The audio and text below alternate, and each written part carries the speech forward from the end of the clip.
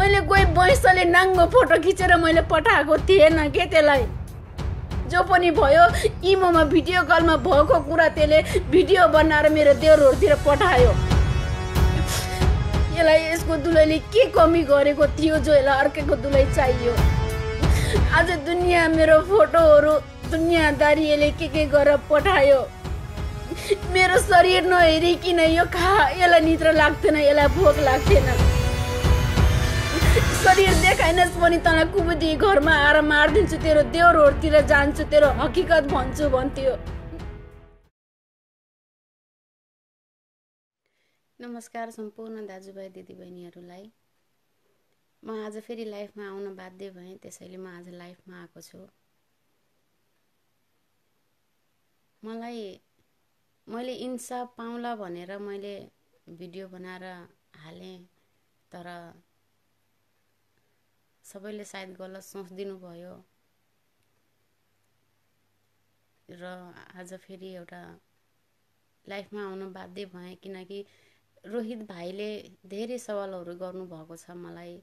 रोहित भाइले इन्साफ दिलाउँछु भनेर पनि मलाई एउटा भर देखाउनु भयो जितेन भाइले पनि मलाई इन्साफ दिलाउँछु भनेर भर देखाउनु भयो त्यो हुनाले गर्दाखेरि मैले भर माने। भर मानेर मैले उहाँहरूकै भरमा यत्रो दिनसम्म म बसेँ। रोहित भाइले रनबहादुर बिकालाई लाइफमा ल्याउनु पनि भयो। सोचेको थिएँ अब त इन्साफ मिल्ला नि भन्ने सोचेको थिएँ। तर रोहित भाइले लाइनमा त ल्याउनु भयो पर के सोध्नुभयो के भन्नुभयो? र रणबहादुर बिकाले नि के भन्नुभयो? झुटै भनिदिनुहुन्थ्यो मायै गर्थेँ। त पनि अलिकति लाग्थ्यो कि सही मान्छे हो भन्ने लाग्थ्यो। र तपाईँहरूले त आपसमा दुईजनाको तारिफ मात्रै नै गरेर छोड्नुभयो। रोहित भाइ म हजुरलाई यही नै भन्छु। अगर कोही पीडितलाई उसको पीडाबाट बुझ्न सकिँदैन र उसलाई त्यो पीडा देखेर अनुभव गर्न सकिन्न इन्साफ दिलाउन सकिँदैन भने प्लिज कोही मजबुर कोही दुखी चेली बहिनी बहिनीलाई आश नदेखाउनु होला। किनकि यस्तो हुन्छ कि जसलाई दुःख पर्छ नि रोहित भाइ त्यसले एउटा आशै हो कि लगाउने कि मलाई यसले साथ दिन्छु भनेको छ दिन्छ कि भन्ने एउटा आश हुन्छ एउटा उम्मिद जागेको हुन्छ होइन? तपाईँले मलाई अनायसी सबुतहरू माग्नुभयो योले त्योले। मैले हजुरलाई भनेको थिएँ म जिउँदो छु म सामुने आएर जनताको सामुने म सबै दाजुभाइ दिदीबहिनीहरूको सामुने म सबै कुराहरू म क्लियर गर्छु म राख्छु। मलाई जहाँ बोलाउनुहुन्छ म त्यहाँ आउँछु मैले भनेको थिएँ भाइ म कोही लुकेर बसेको थिएन होइन? किनकि म पीडित थिएँ त्यही भएर म आउन तयार थिएँ। तपाईँले मलाई उल्टै इन्जाम लगाइदिनु भयो पहिला भन्नुभयो को हो त्यो मान्छे भन्नुभयो लम्बर माग्नुभयो लम्बर दिएँ। मैले यो कुरा तपाईँलाई दसैँभन्दा पहिलाबाट गरेको कुरा हो होइन? मैले तपाईँलाई सिर्फ मैले पहिला यो कुराहरू मैले यो कुरा पहिला मैले जितेन भाइलाई भनेको थिएँ होइन? किनकि म सबभन्दा पहिला म रवि दाई तक पुगेको थिएँ पर रवि दाई तक जान गएको थिएँ मैले बात नि राखेको थिएँ। रवि दाईले मलाई नेपाल पनि बोलाउनु भएको थियो रवि दाईले मलाई इन्साफ दिलाउने मलाई विश्वास पनि दिलाउनु भएको थियो र मलाई रवि दाईसँग मलाई विश्वास पनि थियो। उहाँले मलाई इन्साफ पक्कै दिलाउनुहुन्छ भन्ने मलाई विश्वास थियो पर म नेपाल जान सकिनँ मेरो बाध्यताले म नेपाल जान सकिनँ। त्यो हुनाले गर्दाखेरि पछि मैले सरिन दिदी तक पुग्ने कोसिस गरेँ। मैले लाख कोसिस गरेँ सरिन दिदी तक पुग्नको लागि। र मैले हर दाजुभाइहरूलाई हात पाउ जोरे जो पनि सरिन दिदीलाई चिन्नुहुन्छ उहाँहरूलाई मैले हात पाउ जोरेँ सरिन दिदी तक कुरा पनि पुग्यो। जब तक सरिन दिदी तक कुरा पुग्थ्यो तब तक जितेन भाइलाई मैले खबर गरेँ जितेन भाइ आउनुभयो जितेन भाइलाई मैले कुरा राखेँ फोटो माग्नुभयो फोन नम्बर माग्नुभयो मैले त्यो दिएँ। जितेन भाइले एक दुई दिन फोटो पनि छाप्नुभयो उसको बाद त्यो फोटो डिलिट गर्नुभयो के गर्नुभयो मलाई थाहा भएन।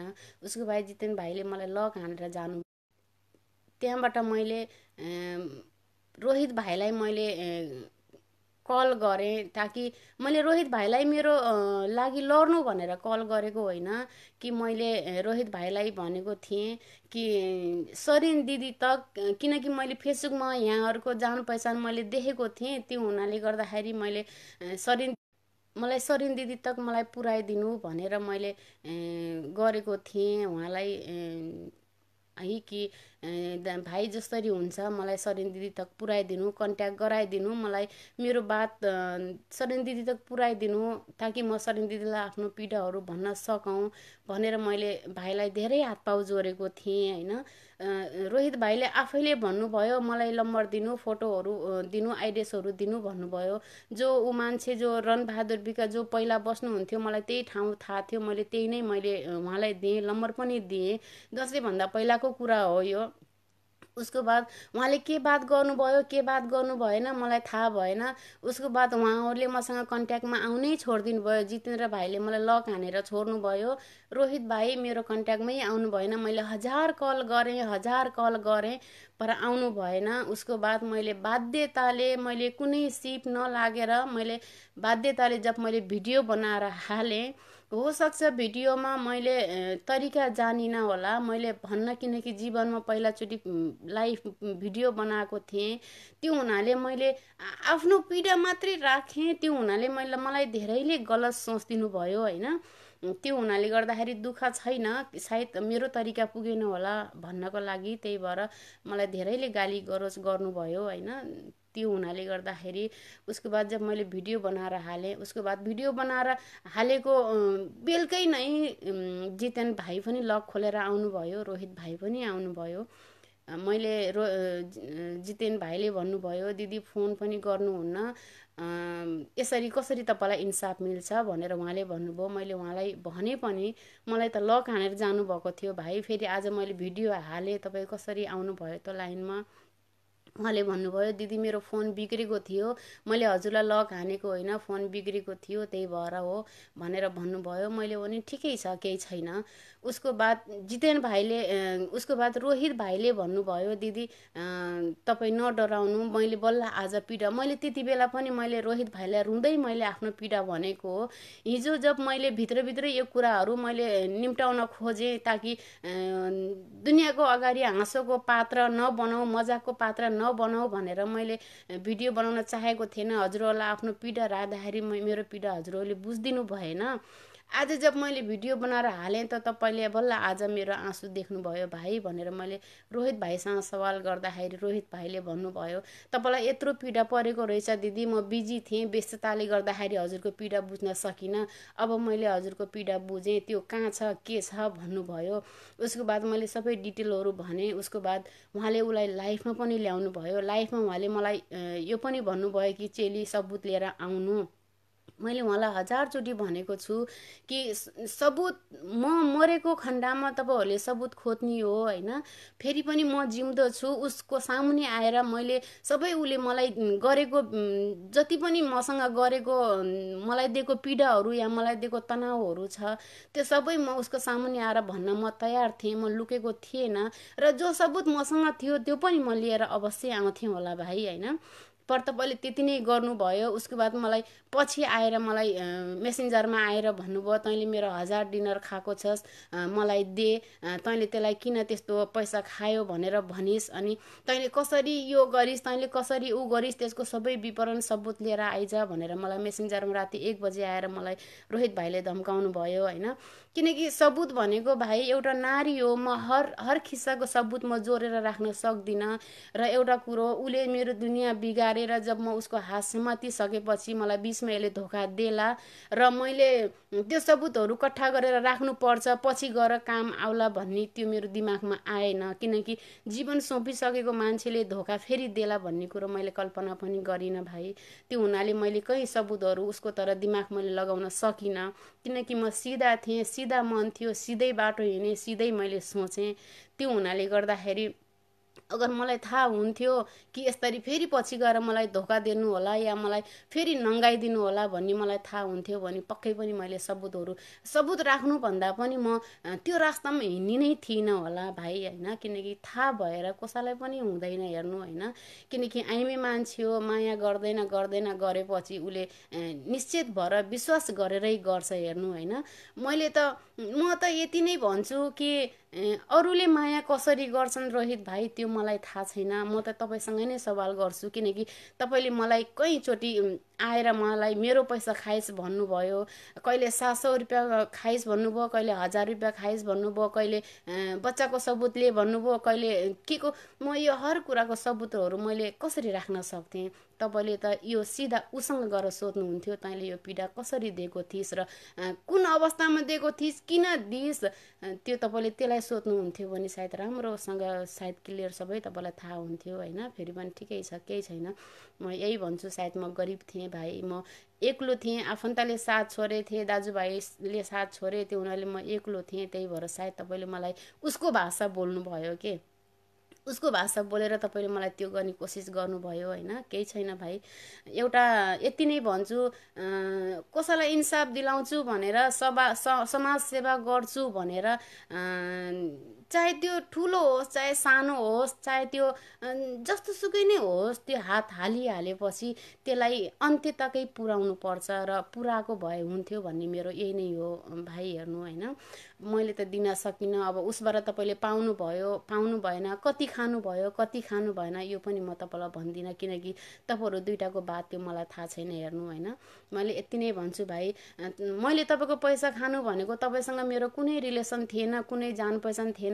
मैले सिर्फ इन्साफ पाउनको लागि मैले यही फेसबुकबाटै मैले सरिन दिदीको फेसबाटै मैले हजुरलाई मैले सरिन दिदी तक पुग्न नसकेको भएर मैले हजुरहरूलाई कन्ट्याक्ट गरेर मलाई सरिन दिदी तक मलाई पुऱ्याइदिनु प्लिज भनेर मैले हजुरहरूलाई बिन्ती गरेँ आफ्नो आँसु मैले देखाएँ तपाईँहरूले बुझ्नु भएन तपाईँले आफै लड्छु भन्नुभयो ल त नि भने एउटा इन्साफै पाउनु थियो मलाई होइन। पर तपाईँले मलाई उल्टा फसाइदिन्छु भन्नुभयो मलाई उल्टा पैसाको इन्जाम लगाइदिनु भयो होइन? भने रोहित म यही नै भन्छु रोहित भाइ तपाईँसँग मेरो कुनै रिलेसन थिएन त्यो हुनाले गर्दाखेरि त्यो इन्जाम तपाईँले गलत दिनुभयो। उसको र मेरो दुई हजार एघारबाट लिएर दुई हजार सत्रसम्मको रिलेसन थियो होइन? त्यो हुनाले गर्दा उसले मेरो धन मात्रै के? मेरो जिन्दगी मेरो बर्बाद गरेर मेरो जिन्दगी दाउमा लगाएर गएको थियो त्यो हुनाले मैले उसँग सवाल सोध्नु पर्ने हुने थियो होइन? त्यो हुनाले मैले सवाल सोधेँ। किनकि हिजोको पलमा म मजबुर थिएँ म रोएर कराएर उसँग हात जोडेर मेरो लाइफ बर्बाद नगर भन्दाखेरि पनि मैले उसले सुनेन मेरो लाइफ बर्बाद गर्यो आज म घरना घाटको भएँ म समाजको अगाडि खुलेर आएँ। मैले आफ्नो पीडा राखेँ। त मलाई न त जिउने अधिकार न त आफ्नो इन्साफको लागि लड्ने अधिकार के? मलाई केही पनि अधिकार छैन रोहित भाइ। म हजुरलाई यही नै भन्छु क्या के मलाई कुनै अधिकार छैन? के म इन्सान होइन? म पनि इन्सान हो नि रोहित भाइ। तपाईँले लड्छु म म इन्साफ दिलाउँछु दिदी भनिसकेपछि। तपाईँले इन्साफ दिलाउन सक्नु पर्ने थियो। न कि तपाईँले उल्टा मलाई पैसा खाइस् भन्नुभयो। तपाईँसँग मेरो कुनै रिलेसन थिएन जो मैले तपाईँको पैसा खाउँ उसँग थियो उसले मेरो घरबार बिगारेर भन्नु न उसको काखमा दुलै हुँदा हुँदा अर्काको काखमा बसेको दुलैलाई ठसर गर्ने अधिकार कसले दियो? मैले त दिएको थिएन त रोहित भाइ। मैले त दिएको थिएन त्यो अधिकार। कसले दियो त्यो अधिकार? मैले मैले साथ निभाउँदा निभाउँदा ठिकै छ मेरो जीवन बर्बाद गरिस्। ठिकै छ तैँले जे भन्छस् त्यो मान्छु भन्दा भन्दै मेरो देवरहरूलाई फोटो पठाउने अधिकार कसले दियो? मैले त दिएन। मैले त यस्तो कुनै नाङ्गो फोटो त्योसँग खिचेको पनि छैन। फेरि कुन तरिकाको कस्तो फोटो पठायो? मेरो बुढाबुढीको हामी बुढाबुढीको बिचमा लडाइँ बनाएर झगडा बनाएर त्यही बात रिकर्ड गरेर मेरो देवरलाई पठाएर मेरो औकात देखाउने मेरो गल्ती थियो। आज सबै समाजले भन्नुहुन्छ नि अर्काको पोइ खोसी। अर्काको पोइ खोसी। तपाईँहरूलाई भन्न एकदम सजिलो छ अर्काको पोइ खोसी। मैले कसैको पोइ खोसेको होइन। के आफ्नो पोइमा के आफ्नो पोइ माटोको बनेको हुन्छ अर्काको पोइमा के हिरा मोती छपेको हुन्छ? हुँदैन त। हुँदैन। म एउटा दुःख गरेर आफ्नो बालबच्चा पालेको मान्छे थिएँ। न त म यहाँको जीवनमा म न मैले फोन गर्न गएको न मैले माया मागेको थिएँ न मैले साथ मागेको थिएँ। मलाई केटाहरूको दोस्ती नै म म दोस्ती नै गर्दिनँ कोही केटाहरूसँग। अगर कोही केटाहरूसँग बोल्नु पर्यो भने या भाइको नाता या दाईको नाता यहाँभन्दा उपरान्त मैले आफ्नो श्रीमान बाहेक कसैलाई मैले त्यो नजरले मैले हेरेको थिएन। पर उहाँले मलाई बाध्य गरिदिनु भयो रन विकले मलाई बाध्य गरिदिनु भयो एउटा एउटा सोल्टीको रूपमा बोल्नु भएको थियो। दुई हजार एघारमा सोल्टीको रूपमा मेरो नम्बर कहाँबाट पाएर मसँग बोल्न आउनुभयो? आफ्नो दुःख देखाउनु भयो म पनि त दुःख पाएको थिएँ। एउटाको दुःख अर्कोले नबुझेदेखि त्यसलाई के इन्सान भनिन्न नि होइन? ऊ पनि परदेशमा थियो म नि परदेशमा थिएँ। उसले आफ्नो दुःखहरू भन्यो मैले आफ्नो दुःख सुख भने दुःख लाग्यो सोल्टी भनेर बोलेँ मैले। मलाई के थाहा थियो मेरो सिधापनको उसले फाइदा उठाउँछ भन्ने मलाई के थाहा थियो? त्यति बेला जब म सोल्टी भनेर बोलिराखेको थिएँ उहाँले मेरो बुढोको नम्बर कहाँबाट खोजेर मेरो बुढोलाई लाइनमा राखेर त्यो बात सुनाउने अधिकार कसले दियो? मैले त बिहा गर्छु भनेको थिएन।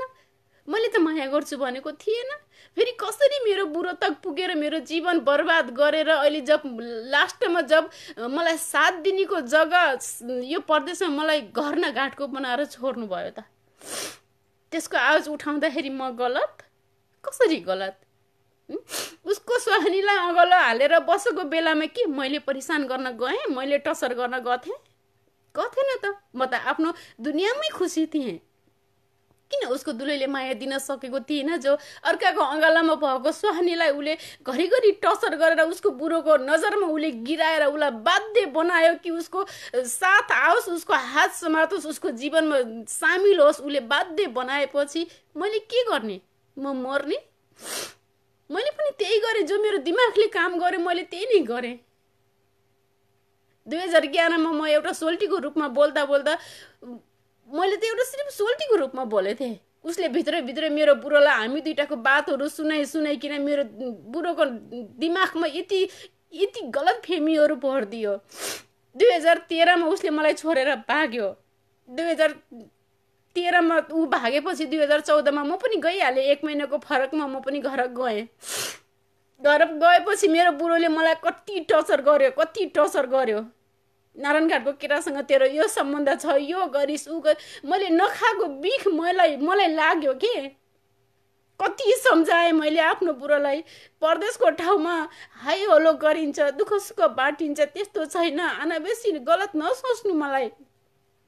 उसले विश्वास पनि गर्यो किनकि उसलाई थाहा थियो उसको श्रीमती गलत छैन यस्तो व्यवहारको छैन। मेरो बुढोले विश्वास पनि गर्नुभयो। सबै ठिकै चलेको थियो। यो पनि आफ्नो दुलैको काखमा बसी बसी मलाई टसर गर्ने अधिकार कसले थियो? मैले मेरो बुढोले मलाई टसर गरेर मेरो बुढोले मलाई मैले सम्झाएपछि उहाँले मान्नुभयो यो मान्छेले मलाई टसर गर्न छोडेन।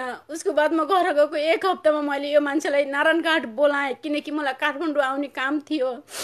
त्यही हुनाले गर्दाखेरि यसलाई मैले नारायण घाट बोलाएँ। नारायण घाट यो आएन। यसले मेरो घर पर्गत नगर भन्यो। यो पर्गत नगर आयो।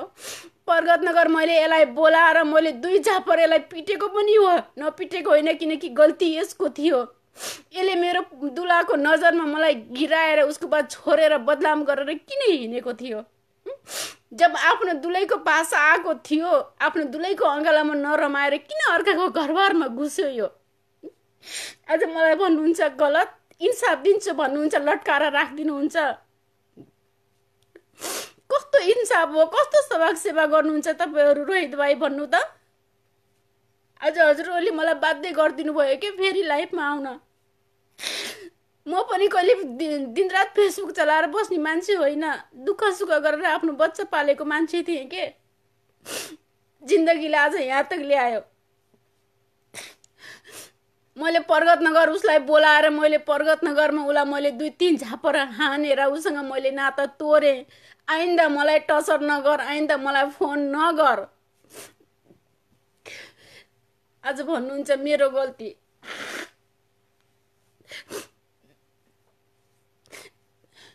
त्यसलाई के त्यति बेला त्यसको आँखा थिएन? म मेरो बुढीको काखमा छु मेरो बुढीले मलाई माया दिइराखेको छ ऊ पनि उसको श्रीमानसँग छ आफ्नो बालबच्चासँग छ मैले टर्चर गर्न हुन्न मैले मेरो भन्न हुन्न कि उसको बास दिमाग थिएन? सानो थियो बच्चा थियो। मैले त्यसलाई पर्वतनगरमा आएर जब मैले रिस्ता तोडेर गएको थिएँ तेरो मेरो बिचमा न हिजो कुनै रिस्ता थियो न आज छ आइन्दा टचर नगर। त आफ्नो फ्यामिलीसँग रमा म आफ्नो फ्यामिलीसँग रमाउँछु। भन्दाखेरि के भन्यो? घरै इन म तँलाई भित्राउँछु।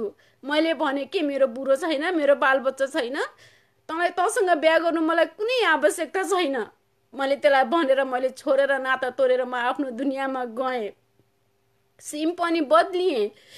के कुछ गरिनँ? सिम खोजी खोजी मेरो बुहारीहरूलाई रोइ रोइकन मेरो बुहारीहरूसँग मेरो नम्बर माग्ने मेरो मेरो बोली सुन्नको लागि मेरो फुपूहरूसँग गिरगिराइकन बिहान छ बजे हुन पाउँथेन मेरो फुपूहरू घरमा खबर लिएर जानुहुन्थ्यो। नारायणघाटको रणबहादुरले फोन गरेको छ। तसँग बात गर्न चाहन्छ। कति भने मैले? कति भने? तेरो घरमा? अरे घरमा त के अँगालोमा तेरो दुलै छ? सरम गर।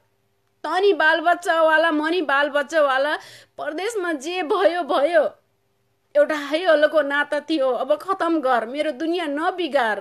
म नि दुई वर्ष तिन वर्षमा आएको छु त नि आएको छस् आफ्नो दुलाईको काखमा रमा जति सहीको माया आफ्नो दुलालाई दे। त के भन्यो रणबहादुर विकले? म आफ्नो दुलाईको अँगालोमा छु। सम्बन्ध राखिन भने समाजले मलाई सम्बन्ध राखिन भन्छ। त्यो भएर म सम्बन्ध राख्न बाध्य छु मनु। पर जति बेला म मेरो दुलैसँग सम्बन्ध गर्छु म तँलाई सोचेर यो मनमुटुमा तेरो याद गरेर मैले सम्बन्ध गर्छु। तुक्क नामर्दा अहिले भन्छस् कि सिर्फ साथी मात्रै हो। कुन एङ्गलको साथी गरिस्? कुन एङ्गलको? सोचेको थिएँ राम्रै मुखले राम्रै मुखले इन्साफ पाउँछु र राम्रै राम्रै व्यवहारले इन्साफ पाउँछु भएर मुख छोड्न बाध्य गराइदिस् के तैँले? त नामर्द थिए तेरो घरको दुलैले तँलाई माया दिन सकेको थिएन। केमा कमी राखेको थियो तेरो दुलैले जो त अर्काको दुलैको पछि हिँडिस्? म पछि परेको थिएँ तेरो। म त पछि परेको थिएन त रणबहादुर बिका म त पछि परेको थिएन। मैले त तँलाई हजारचोटि सम्झाएको थिएँ। एउटा नारीलाई टचर नगर। मलाई मलाई अप्नाएर आफ्नो दुलालाई छोड्नु र तेरो दुलालाई अप्नाएर मलाई छोड्नु पीडा एउटै हो नारीको। दुई दुईवटा ती तिनवटा बच्चा छन् तेरो घरमा। तेरो दुलालाई धोका नदे नछोड। के कमी छ भन्दा के भनिस्? मेरो दुलैको चालचलन ठिक छैन। दुनियाँ केटासँग लागेर हिँड्छे काली छ ढाइपुटी छ मसँग हिँड्न सरम लाग्छ।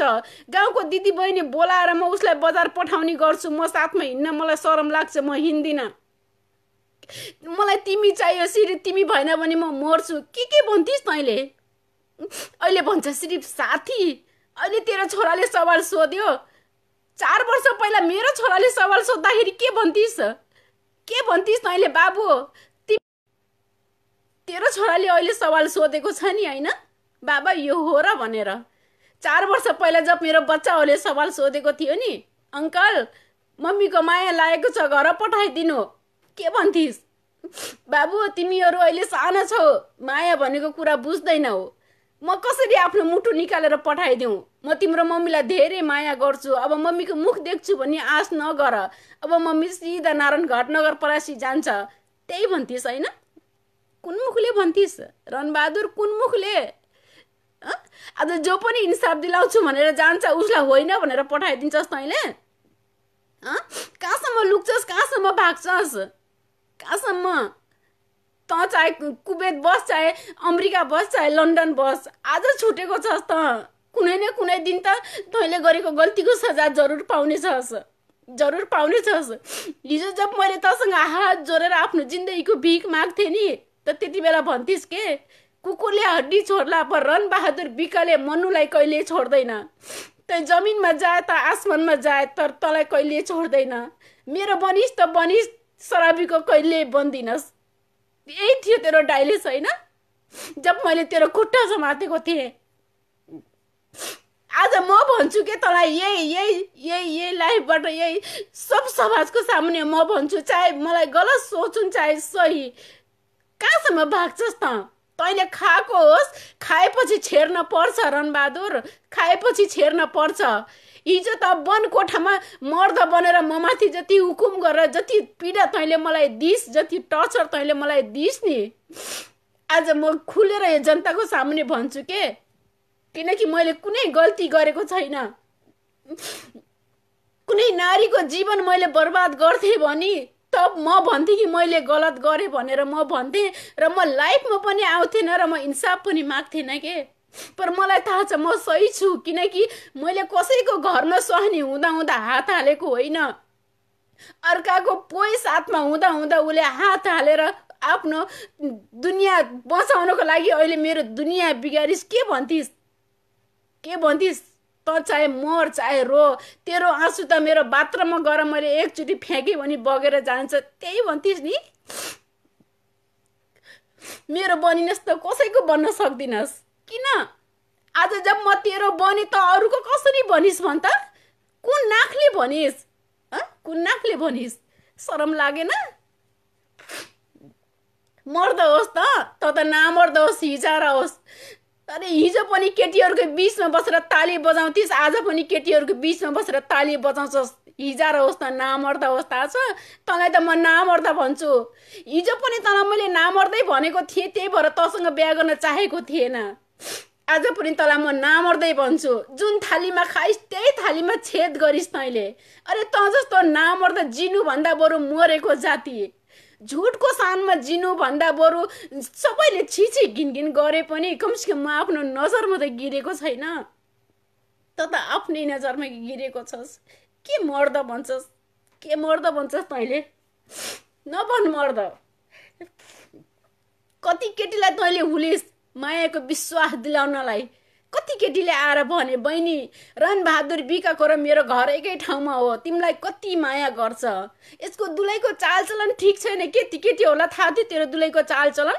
त यति गिरेको मान्छे होस् नि रणबहादुर बिका म तेरो तेरो जङ्गलमा सिर्फ इसलिए पसेँ किनकि मेरो घर परिवार मेरो बाल बच्चा मेरो श्रीमानलाई कुनै पनि पीडा नहोस्। त उहाँ तक नपुग भनेर मैले उनीहरूलाई बचाउनको लागि मैले तेरो बातहरू माने। बन्न त त मेरो खुट्टाको धुलो बराबर पनि छैनस् रणबहादुर खुट्टाको धुलो बराबर पनि छैनस् के? तर मैले हिजो पनि त्यही भनेको। आज जो नि इन्साफको लागि जान्छ त्यसलाई भन्छस् होइन साथी मात्रै हो। तेरो बच्चाले सवाल सोध्यो त विवाहित? हिजो जब त तेरो दुलैको काखामा थिइस् नि दुई हजार त तेह्रमा जब तेरो दुलैको काखामा थिइस् दुलैलाई अङ्गल हालेर राति सुत्थिस् नि। सुत्नुभन्दा पहिला तैँले मलाई टचर गर्थिस् मेरो जोइपोइको बिचमा झगडा बनाउँथिस् उसको बात गरेर स्वास्नीसँग सुत्थिस्। शरम लाग्थेन त्यति बेला तेरो आत्माले तँलाई धिक्कार थिएन? धिक्कार थिएन तँलाई त्यति बेला?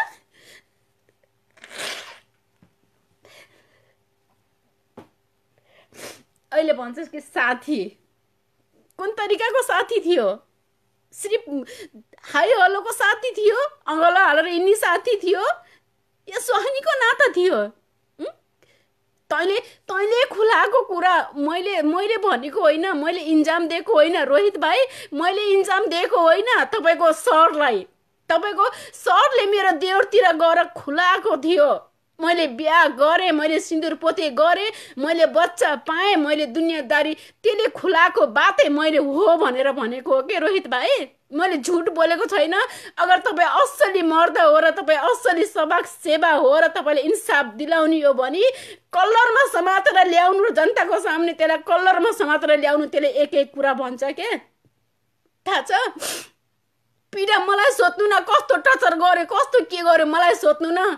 त्यसलाई माया नदिएर म त्यसको श्रीमती बनिनँ भने मलाई कुबेतीको घरमा आएर मारेर भागेको थाहा पाउनेस् भनेर मलाई मार्ने धम्की दिन्थ्यो।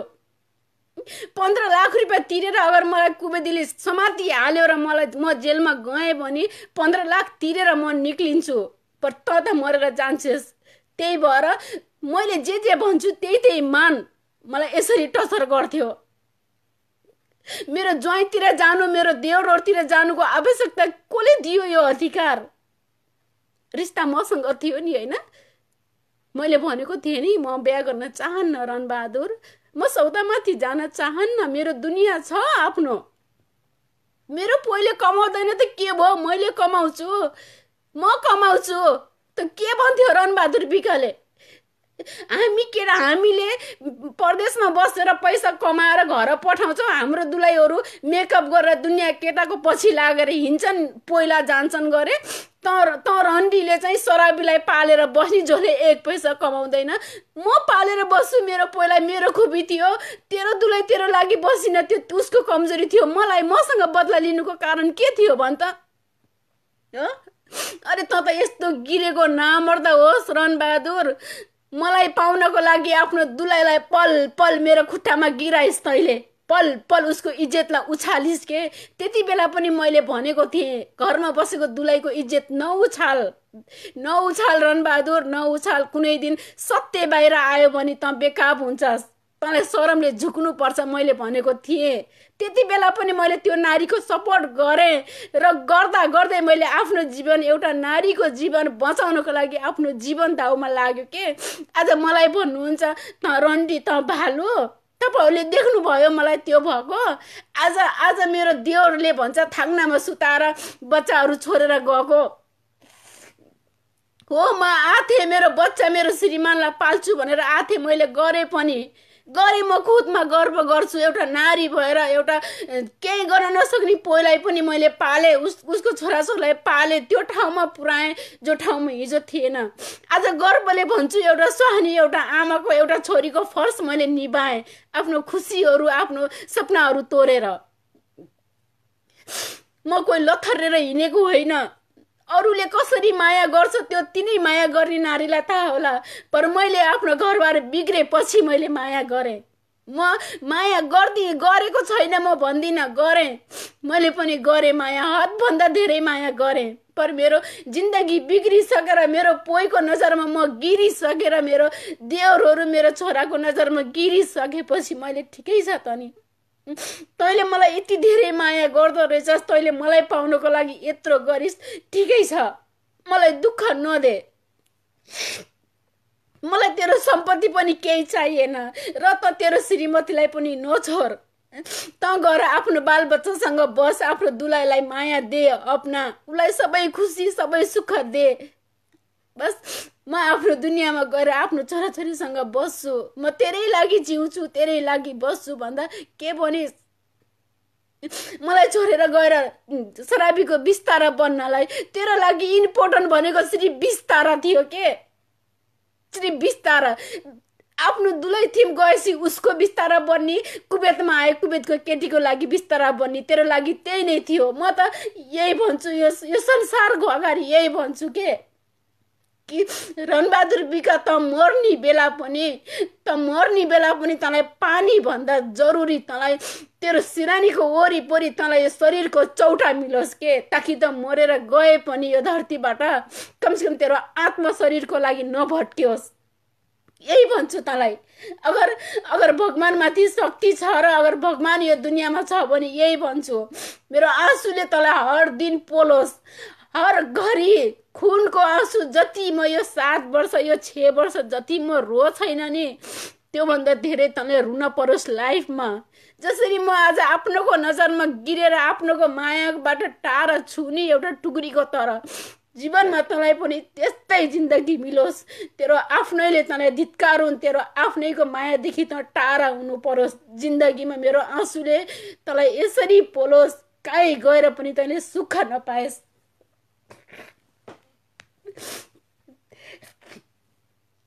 आज भन्छस् एउटा साथी मैले केही गरेको नै मेरो मानहानी। कुन कारणले तेरो मानहानी भयो ल भन् कुन कारणले रोहित भाइ? कुन कारणले भन्नुभयो? कुन कारणले सोध्नुभयो? त्यसलाई मानहानी भयो भन्नुभयो सर। तपाईँको सरको कुन कारणले मानहानी भयो भन्नु? त्यसको दुलाइको र त्यसको बिचमा म घुसेँ कि त्यसलाई खोसेर मैले त्यसको बालबच्चालाई अलग बनाएँ कि त्यसको बालबच्चालाई रुलाएँ कि त्यसको सम्पत्ति खाएँ कि मैले के गरेँ जो त्यसलाई मानहानी भयो ल भन्नु रहेछ है? बोल्न बोल्न पाएँ भन्दैमा जथाभावी नबोल्नु के बोल्न मलाई पनि आउँछ। सिर्फ म पीडा पाएको थिएँ त्यही भएर म ठुलो किस्सा गराउन चाहन्थिनँ किनकि आफन्तको आफन्तसँग कहिले बोल्न दिएन साथीभाइसँग कहिले बोल्न दिएन एकरो बनाएर आफ्नो आफ्नै जीवनमै उसले राखिदियो। त्यो हुनाले गर्दाखेरि म सिधा सादा थिएँ कुनै कदम उठाउन सकिनँ किनकि मलाई दुइटै आन्सर दिएको थियो या त आत्महत्या गरेर मर या मेरो बन खुसीको जीवन दिन्छु। जो पनि खुसीकै जीवन जिन चाहन्छ रोहित भाइ आत्महत्या मैले पनि गर्न सकिनँ त्यही भएर त्यही भएर ठिकै छ त नि। अब उपरान्त त मलाई टचर नगर। जे जे भन्यो म त्यो त्यो मैले माने। आज भन्नुहुन्छ सबुत दे के के को सबुत दिउँ रोहित भाइ? के के को सबुत दिउँ तपाईँ त्यति नै इन्सान हो तपाईँ त्यति नै सही हो र तपाईँले मलाई इन्साफै दिलाउने हो भने म यो यो जनताको सामुन्ने म भन्छु के रोहित भाइ।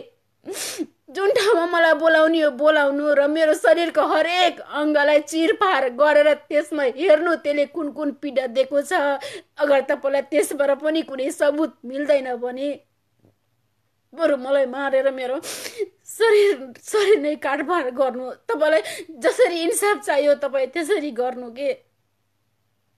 थाहा छ।